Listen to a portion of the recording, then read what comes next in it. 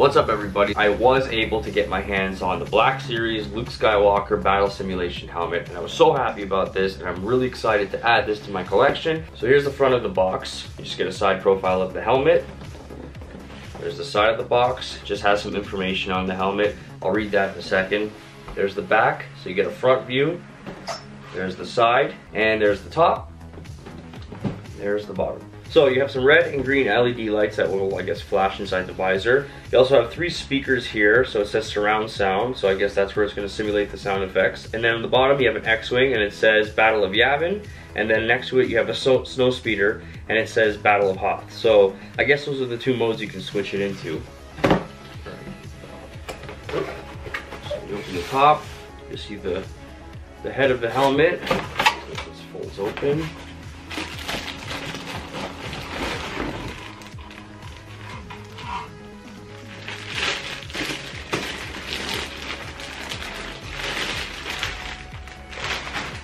Simple as that. There's a little bag on the inside of the helmet.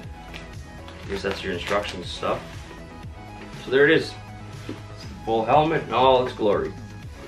Um, now it's obviously incomplete, so the bag will have some key items that you're gonna need. Get your chin strap. And you got some cushions or padding that you can put on the inside of the helmet. Uh, let me just look over the instructions real quick. So this takes three AAA batteries. So the battery compartment is right at the back of the helmet. Under this, looks like. Yeah, so this plastic piece comes off and then you are gonna need a screwdriver to get that compartment open. So I'm just gonna put the batteries in and then I'll save you the grief of seeing that. All right, so once you put the batteries in, just simply put the plastic piece back on the bottom to hide the compartment. There you go, that's it. So now I'm just gonna put some of the padding in. Now, it does show that there's some Velcro that's involved here. So if you look on the inside, you can't really see it from this angle, but there's a bunch of random dots in there. And, oh, you might be able to see if I get the reflection right there. That dot right there. So that's actually the Velcro. So you'll see there's uh, two different sides. This is obviously the back side, and that's the side that's gonna be rubbing against your head. So you're simply gonna place it against the Velcro, and it sticks on just like that you're gonna take the padding, and same idea, one side that sticks to the Velcro, one side that's uh, probably gonna feel better on your head. Attach one, then attach, I'm I doing this? Attach second. So it should look something like that by the time you have everything attached on the inside. And then the last piece is the chin strap. And there's a little buckle on it, and that buckle actually connects to the one that's inside of the helmet. So you just click that on. Same idea on the other side, just click it on. And that's it. And then you just have the mic here, and it's just for display pretty much, but that's it. That's the whole helmet. There is a switch on the inside, and basically it has a snow speeder or an X-Wing. Depending on what you switch it to, I guess that's the battle mode that you're gonna be entering. But before I show you that, I'm just gonna show you the helmet. There's the front, side, back, other side. And then here's just a look at the entire thing. Very good quality, I'm happy with that. I also like the design on it. I mean, it, it looks really battle worn and the paint design, I like it. It's got kind of like a, it's got an interesting texture to it. It literally feels the way it would as if you just left a battle or something like that. I like how the paint is chipped away here on the logo. I even like how it has some so, some sort of like blaster fire or damage from uh, sparks. I don't have any complaints about this design, the paint job, overall just the feel of the entire helmet. The visor doesn't move, so there's no point in even trying. And this is the only thing on it that really moves besides the chin strap. And it's only for display, apparently. That's what the instructions say. And this is a button right here. And if you click that button, it begins the simulation mode. So let's see if this even fits my head. Ugh. Okay, so it does. And it's actually really comfortable. And I, trust me, I have a very big keg. Blech, keg. I don't have a keg. But I do have an enormous head. Fits pretty comfortably on me. And you can also adjust this. I haven't adjusted it just yet, but you can you can adjust the chin strap to kind of help with holding this in place. And it's really comfortable on the inside. So I'm gonna start the simulation now. I'm pretty sure I put it on the Battle of Yavin. Okay, so right now I'm hearing R2.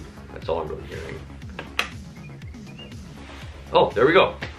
Okay, the lights are on. Now they're not. Okay, so I'm hearing the sound effects of an X-Wing. Red 3 standing by, Red 6 standing by, Red 2 standing by. So this is, I guess, as you're approaching the Death Star in A New Hope. Okay, so I'm in the simulation now. Okay, so pretty much what I'm getting from this is it's playing out the Battle of Yavin.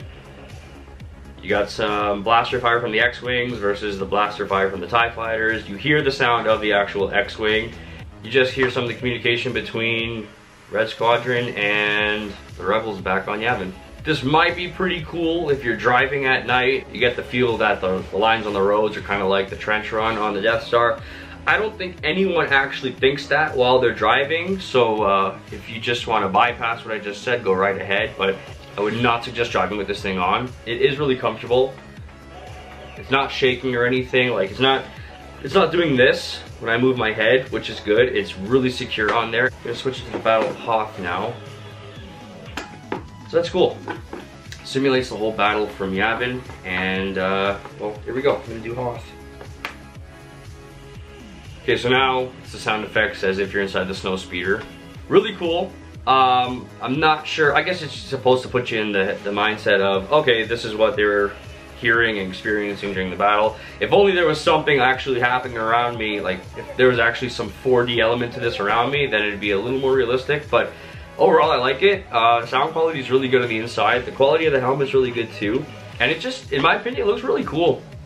I'm really impressed with this. One thing I can say about the Stormtrooper helmet and the Vader helmet as well is they, they've all been very comfortable on my head. Alright guys, so I'm going to end this one here. If you like this video, please give it a thumbs up. Please subscribe to my channel. I do have some more Star Wars content coming very soon, and some of that content includes Black Series Force FX lightsaber unboxing videos and reviews, and there's some of the cooler ones that I've added to my collection, which I'm really excited to show you. Uh, if you can stumble upon this in a store and see it on the shelf, I do suggest you pick it up because one thing that I can confidently say is the Black Series has never disappointed and I was very happy when I got the Stormtrooper helmet and the Darth Vader helmet and I'm really excited to put this in my display case too. The quality is really good, the design is really cool, the sound effects are great, and it fits really comfortably on my head. So that's the end of this one. I hope you stay tuned for what I have coming next. Take care.